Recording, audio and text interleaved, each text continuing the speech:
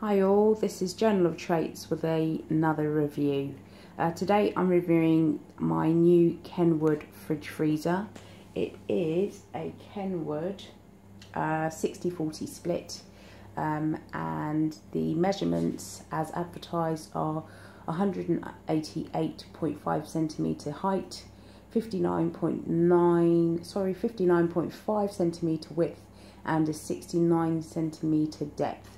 I did find that the depth um, differed slightly from what was advertised. Um, I actually found when I measured it, it was 62 centimetres.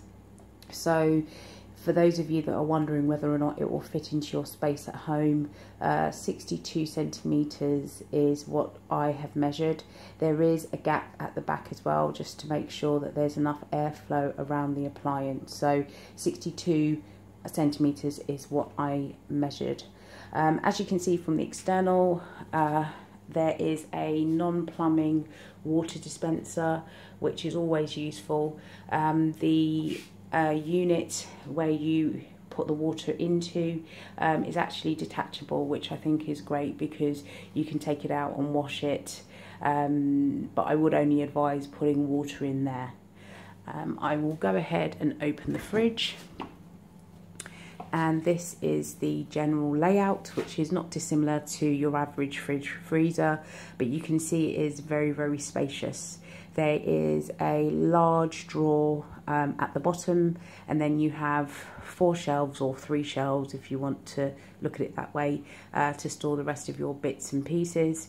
And then if you have a look at the inside of the door you have a top shelf which is very large uh, and then you have another shelf in the middle and another shelf at the bottom. And all three are fantastic sizes.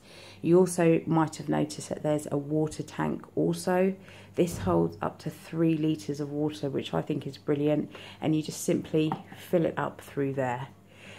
Back into the main part of the fridge now and you'll notice that uh, you can control the temperature using the uh, temperature gauge. And you can do that really easily by pressing either either end of the buttons depending on whether you want to change the temperature in the fridge or the freezer. Um, so that's fairly easy. I mean the manual goes into all of the great details. Um, so it's fairly easy to use. So this is the main fridge what I also like about this as well is that you have really nice solid handles. Um, they're not flimsy at all. They're really, really sturdy and it can withstand, you know, the amount of times that you or your family would go in and out of the fridge. And then down here is the freezer and you have three substantial drawers. The advertised litre space is 89 but my previous fridge was 97 and I managed to get all my things in here and there is still space. The top drawer is uh, a medium size, the middle drawer is quite large actually, it's very very deep. So you can see that I still have quite a bit of space in there and if you look at it from the side it's very very substantial. And then the drawer at the bottom is just again another medium sized drawer but again there's loads and loads of space. So overall I would say excellent buy. I purchased this from Currys. I believe that Currys seem to have some sort of exclusivity with Kenwood. Um, I couldn't find it anywhere else but I mean Currys were good enough they delivered on time uh, when they said they would.